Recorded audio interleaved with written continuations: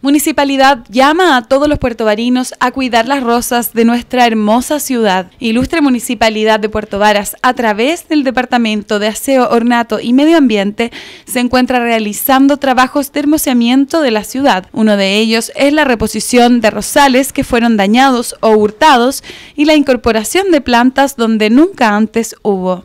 Fíjate que el año pasado nosotros eh, plantamos aquí solamente en el centro todos los rosales que estaban quebrados, los que se habían robado y todo, fueron 250 rosales y ahora vamos a tener que poner por lo menos 100 de nuevo.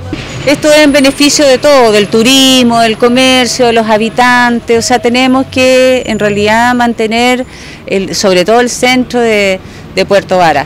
También vamos a poner más rosales en, la zona de, mm, de, la costanera. En la costanera también, el año pasado pusimos 240 rosales y ahora vamos a tener que poner como 80 que están rotos.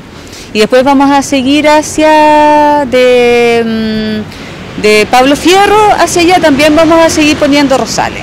Y Colón, Colón que ahora ya tenemos el pasto y ya nos llegaron los rosales, así que también no se preocupen porque nos han preguntado bastante, también vamos a, ya hemos plantado algunos, vamos a poner otros y rosales.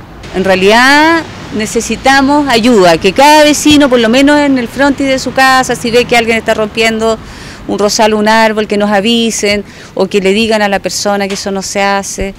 Eh, eso es lo que necesitamos. Principalmente se están colocando rosales de pie alto y pie bajo en calle Gramado, así como también en las calles Colón, Errázuriz, Imperial y sector Costanera. El hermoseamiento de la ciudad va en directo beneficio de todos los habitantes de Puerto Varas. Esto porque las rosas y vegetación en general son parte del paquete de atractivos turísticos de nuestra ciudad. Por esto cobra especial relevancia que todos formemos parte del cuidado de nuestros rosales. Además, la profesional agregó que en el sector costanera se colocaron 240 rosales y que ahora deberán plantar 80, el doble de lo que se tuvo que reponer el año pasado. Esta pérdida se debe principalmente al descuido y hurto de los rosales por parte de habitantes y visitantes de Puerto Varas. Por esto, el llamado es a cuidar y proteger nuestros espacios públicos y en este caso, nuestras rosas.